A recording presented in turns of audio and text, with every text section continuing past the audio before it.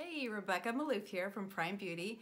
And as a makeup artist, I have heard time and time again, one of the top problems women have after they reach age 50 is the dreaded eyelid droop. So what that is, is just basically feeling like and seeing that this part of your eye just kind of meets your lash line. So right now I don't have any shadow on. I do have some mascara, which is a perfectly get out the door look, but it doesn't do anything to address the droop. But I'm gonna show you how to do it with my eye lifting kit. So this is very specific to eye droop. We've got our um, shadow magnet primer. So this is just a little cream product and I'm gonna use that eyeshadow all over brush that we're gonna see later. And I'm gonna put the shadow primer all over.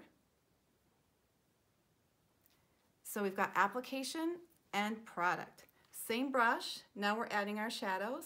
And I just chose really pretty shadows that get the job done of looking pretty every day. They show up and they address the droop. I just dipped into this very pretty soft shell pink color and that color is going to just kind of lift and highlight the eyelid area. Next, I'm gonna skip my crease or the droop and I'm gonna use the same brush into the vanilla color. That goes right here. That gives us a little bit of a brightness right where we need it. And I just drag it on up across my, my brows. That's done. And we're switching brushes. This is your magic brush. This is your lid lifting brush. It does everything. So I've got this kind of, these colors are mostly matte. This one has just a little sheen, but this is totally matte. I've just rolled this brush in there and what you do is you don't have to find a crease, you just find your eyeball.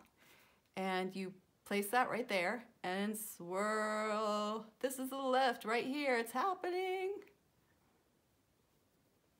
Just dry out that brush, kind of blend it. You can use your fingers. All right, so now I've got my lid lifted and I've got a little bonus product for you you may not know about. This is an eye brightening pencil and it goes right in here. Let me get this real quick for you and then you'll see the after. All right, it goes right in here because this area tends to be dark and reddish, so it just brightens your eyes. Now I've got everything on, they should look brighter, lifted every day. That took like a minute, and that's all it should take when you've got the right colors, the right tools, and look pretty every day. Why not? You're in your prime.